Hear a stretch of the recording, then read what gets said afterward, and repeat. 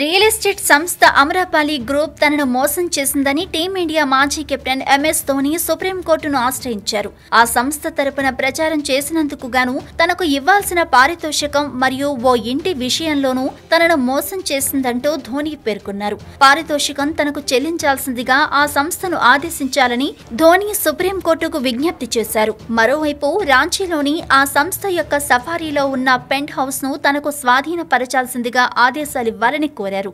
Real estate సంస్థకు రెండు వేల తొమ్మిది రెండు వేల పదహారు మధ్య కాలంలో ధోని ప్రచారకర్తగా పలు ప్రకటనల్లో కనిపించారు. అంతేకాక ఈ గ్రూపు నిర్వహిస్తున్న పలు కార్యక్రమాల్లో ధోనితో పాటు అతడి భార్య సాక్షి కూడా భాగస్వామ్యమయ్యారు. ఆ గ్రూప్నకు చెందిన చారిటబుల్ వింగ్ నిర్వహించిన పలు కార్యక్రమాల్లో సాక్షి కూడా పాల్గొన్నారు. ఇన్వెస్టర్ల నుంచి రెండు వేల ఏడు వందల అరవై ఐదు కోట్లను వసూలు చేసి ఆ డబ్బును దారి మళ్ళించినట్టు ఈ గ్రూప్ పై ఆరోపణలొచ్చాయి. ఈ నేపథ్యంలోనే ఈ గ్రూప్లకు చెందిన పదహారు ఆస్తుల వేలానికి సుప్రీంకోర్టు ఇటీవలే గ్రీన్ సిగ్నల్ ఇచ్చింది. వచ్చిన నిధులను నిలిచిపోయిన ప్రాజెక్టులకు ఉపయోగించాలంటూ ప్రభుత్వ రంగ సంస్థ నేషనల్ బిల్డింగ్స్ కన్స్ట్రక్షన్ కార్పొరేషన్కు బాధ్యతలను అప్పగించింది. మరోవైపు ధోనికి చెల్లించాల్సిన నలభై కోట్ల బకాయిలను ఇంతవరకు చెల్లించలేదు. పెంట్ హౌస్ విషయంలోనూ కూడా ధోనికి యాజమాన్య హక్కులు కల్పించలేదు. దీంతో తనకు న్యాయం చెయ్యాలంటూ ఎంఎస్ ధోని సుప్రీంకోర్టును ఆశ్రయించారు. మరి సుప్రీంకోర్టు ఏ విధంగా స్పందిస్తుందో చూడాలి.